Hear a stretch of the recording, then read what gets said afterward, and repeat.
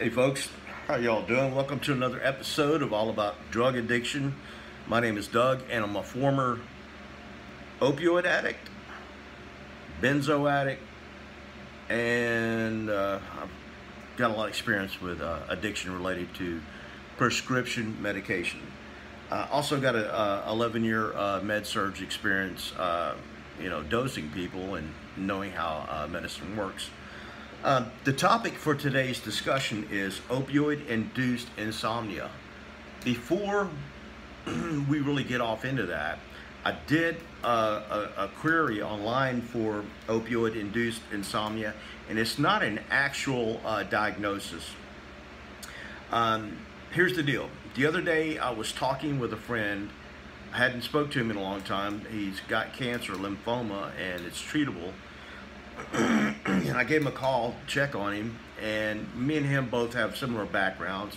He's like eight months older than I am. We kind of grew up together from the same hometown, and um, he's been on morphine or some type of opioid for the past 25, 30 years. Uh, he had an accident where his he was delivering um, produce or something. His truck rolled over and he had a bad back problem um, we got to talking, and he, you know, uh, talking about, yeah, I'm still on pain medicine, I'm still on disability. Now I got chronic insomnia, and uh, a little light went off in my head because I've tried to talk to this guy about possibly getting off opioids, and he just doesn't want to do it. I'm like, dude, why don't you try uh, the keto diet? Uh, it's really good for uh, people who have um, a lot of pain, especially due to arthritic conditions. No, I don't want to do that. Um, don't you want to try to come off pain medicine? I can't. I hurt too bad. I hurt too bad. And then when he brought up the subject of insomnia and taking Restoril, I remembered that when I was on opioids, uh, I developed chronic insomnia. Uh, the term I'm going to use, use is opioid induced insomnia, though I don't know that there is such a diagnosis named that way. But I did look it up and I did find a lot of articles on, um, you know, the first page of queries that stated that there's been a lot of research into it and that up to 75% of people who have chronic long-term use of opioids do experience sleep disorders including insomnia and uh, sleep apnea. And both are detrimental to your health. Um, sleep apnea can cause chronic fatigue in the day and it can also lead to uh, chronic cardiac problems. If you don't know what sleep apnea is, it's when you go to sleep and um, you stop breathing for a period of time, up to a, minute or so. And when that happens, uh, you don't get good, deep REM sleep. Um, you just get superficial sleep. I got a buddy of mine um, who had a sleep study done, and he, he it, he's got it, but he's not an opioid user, but he uses CPAP to sleep at night. So when my, my buddy Bernie was telling me about his insomnia, and I was trying to tell him, hey dude, why don't you why, don't you do a couple of weeks of getting off uh, your medicine? I don't want to do that, man. I can't do it. I can't do exercise either. I got a heart condition. I tried to tell him, hey, dude, you know, when I was working med surg, I also worked rehab nursing, which is when people have like a back surgery or coronary artery bypass or some other surgery that sets you back and it's going to take a while for you to get back on your feet again. You come from the hospital to our hospital and then every day you have a regimen of exercises that you do with physical therapy and we've rehabbed people with chronic really bad heart conditions and got them back on their feet and, and got them to get their wind back, their strength, their stamina, and all that. But I, I couldn't talk to him about this. He doesn't want to hear it. Um, we've been doing doing this back and forth, off and on, for a long time. But it did make a light bulb go off in my head, and I remembered that when I was on um, opioids the last time, I developed chronic insomnia. and let me, if you don't know my history, here's the deal. Chronic back pain, on and off opioids since 1997 up until 2016. And roughly 2013 through 2016, I was seeing a, a, a a pain management doctor. I started off on Norco, 10 milligrams four times a day, then 20 milligrams four times a day, and then oxycodone 15, then 20, then 25, and then finally 30. and the reason I kept bumping up, uh, most of you know, but if you don't know, you'll learn something here that pain medicine creates more pain than it actually alleviates. It's called uh, rebound pain, and that's associated with taking the pain medicine. Um, that's why you have to keep going up and up in dosage. It's not that your disease process is getting any worse. It's because the medicine cannot effectively address the pain, and for some unknown reason, you start having more pain while taking pain medicine. You go see your pain doctor, and he bumps you up. So I got tired of that. and but one of the things that I was noticing a lot um, was that I would have five to ten days of not being able to sleep, and that's on 30 milligrams of oxycodone plus two milligrams of Klonopin twice a day. So I had plenty of medicine that should help me to sleep, and I was not falling asleep. And I didn't realize at the time that that was the problem. I just thought well, that's just another problem I'm having. It just you're getting old, and you now you're going to develop insomnia, and that's just a that's just something else you need medicine for. when when you start taking high doses of uh, pain medicine, it dumbs you down. Your thinking process is blunted. So I wasn't using my med surg experience when I got wrapped up in all these uh, pain medication pills. So when I got off the pain medicine, the first thing that I noticed is that I, I was able to sleep at night. As a matter of fact, um, I haven't had a bout of insomnia since I stopped taking opioids. Um, aside from not being able to sleep up to 48 hours, five to 10 times per month, I was also sleeping through my alarm clock. Let's say I went to bed at midnight and had to be up at 8 that wasn't going to happen. I bought three alarm clocks and I'd sleep through all of them. Not only sleep through them, but I would sleep anywhere from 10 to 15, 16 hours. And that's due to narcotic use.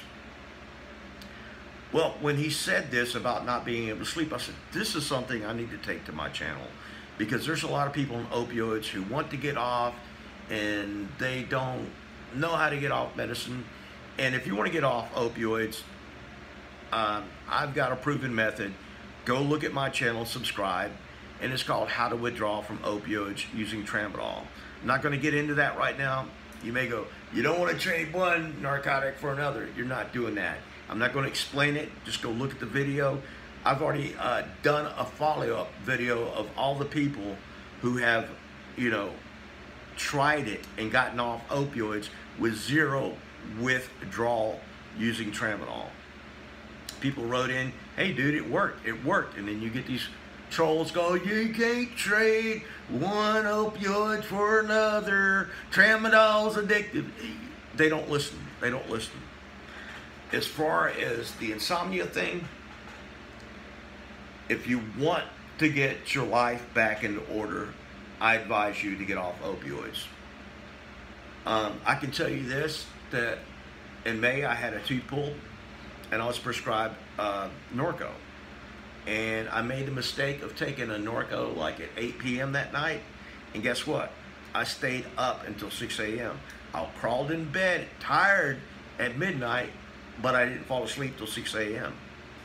And I was trying to figure out what, what, why am I having, why am I having insomnia? I haven't had insomnia since I was on opioids. And then ding, another light went off. Goes, you idiot!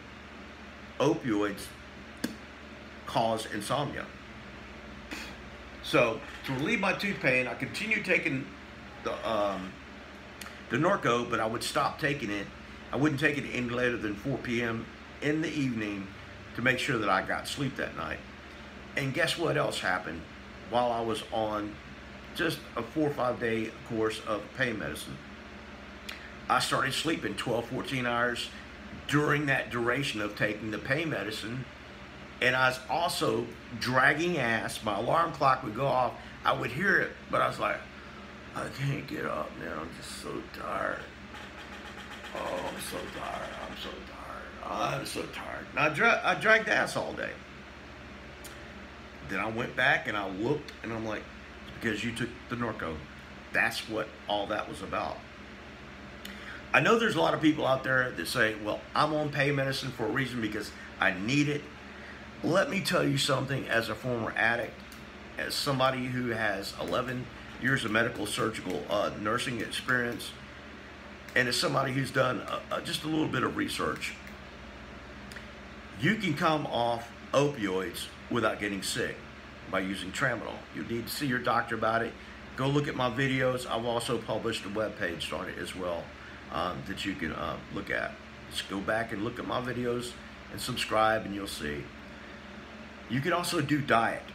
Many people who have uh, pain related to like arthritis or previous injury or stuff, it is a well-known fact that uh, processed food, fast foods, stuff with like ketchup, mayonnaise, all these foods that's got preservatives in it. These foods are not natural to your body to break down.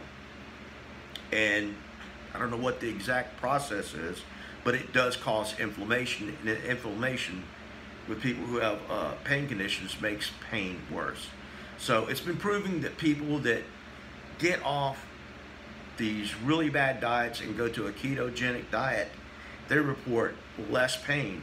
People who implement uh, a workout regimen uh, consisting of lifting weights. You don't have to be like Arnold Schwarzenegger and lift a lot of heavy stuff and get pumped up. You don't have to do that. But lifting weights builds strength, uh, cardio, makes your heart stronger. And these things also release natural chemicals that no pill they can replicate, but they create a cascade of other problems. Um, you release endorphins like uh, endorphins like, um, and dopamine, serotonin, and you reduce uh, cortisol, which is a stress hormone. So there are things that you can do once you get off these pain medicines to manage your pain problem. Now, though I was on chronic use of pain medicine for a long time, once I got off, I, I started working out, exercising, better diet, and stuff like that and my pain has gotten much better. I can deal with it with Tylenol or a couple of Advil every once in a while, and that's about it. If I gotta have a tooth pulled, I, I gotta have something for pain. But I, I don't relapse because I wasn't that type of addict. Uh, I wasn't abusing for the euphoria and all that. I was taking for the pain, and the pain just kept getting worse and worse and worse because pain medicine creates more pain than it alleviates. Look it up. Dr. Drew talks about it. It's the same thing with benzos. You take benzos for anxiety, you're going to end up with more anxiety and you're going to end up asking for more benzos from your doctor. If you take a sleeping pill, it's going to create insomnia and then your doctor's going to have to bump it up. And it's always the risk, the benefits versus the risk. Does the benefit of the medication outweigh the risk. And in my case, for benzos and for opioids and for sleeping medicine, no. Now, in the beginning, yeah, it seemed like this was the deal. This was the magic cure. But medicine only only goes so far. And I, I'm going to tell you something else that I know from research and from my experiences being a nurse and from a close friend who's a doctor, and the thing is that you need to take as less medicine as possible. Uh, the more medicine you take, the more problems you're going to have. Every medicine comes with a side effect or a risk. And people just pop pills. Oh, oh, I got high cholesterol. Forget it. I don't want to work out. Hey, can I have a Big Mac with extra cheese and uh, some of those salty fries? and a milkshake and go, my cholesterol is under control. I take whatever. I take a statin drug.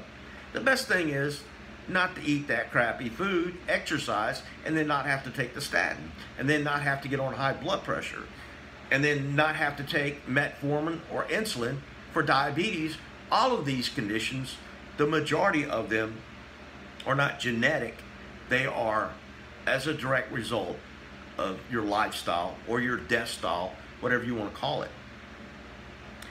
Um, look at Trump. Now, this is not political. I'm not telling you who to vote for. But I look at the man, he's what, 72 years old? He doesn't take any medicine, period. He's got great genes, but he eats a horrible diet.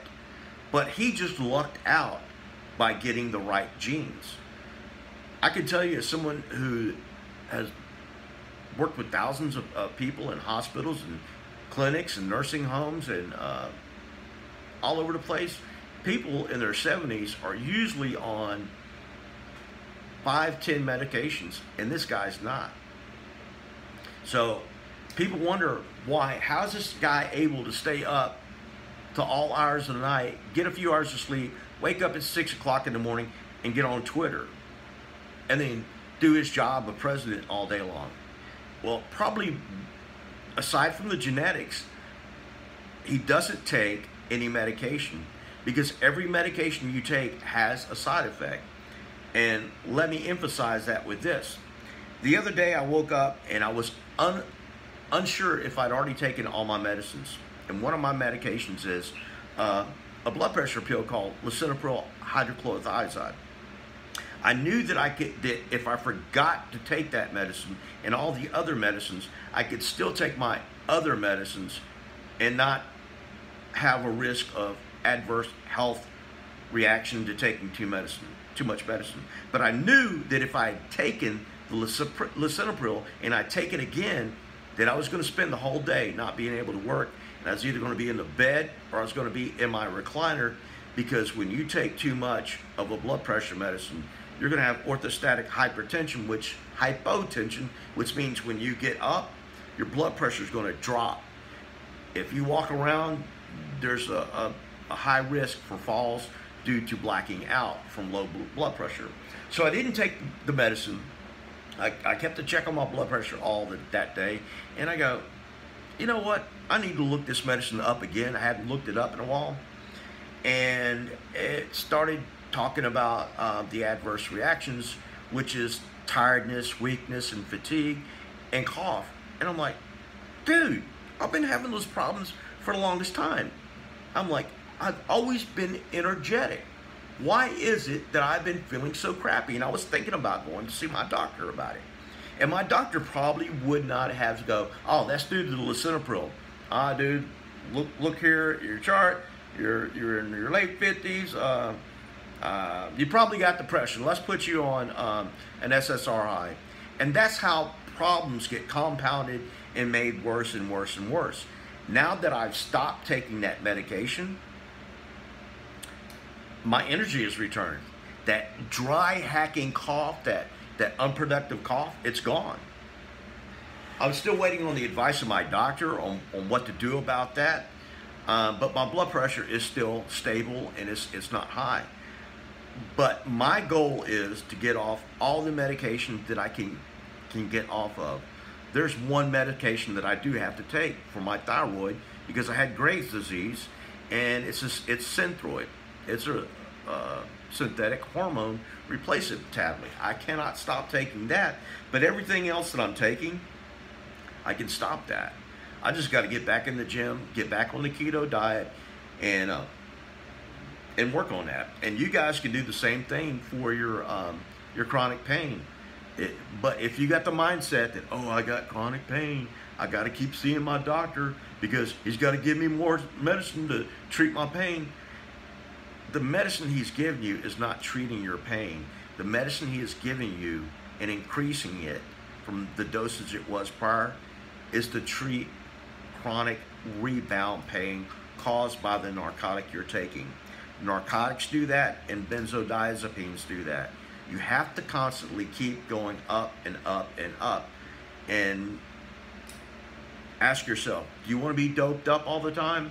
Do you want to sleep through your alarm clock? Do you want to sleep 10, 15, 16 hours a day? Do you want to be tired? Do you want to be addicted to this pill?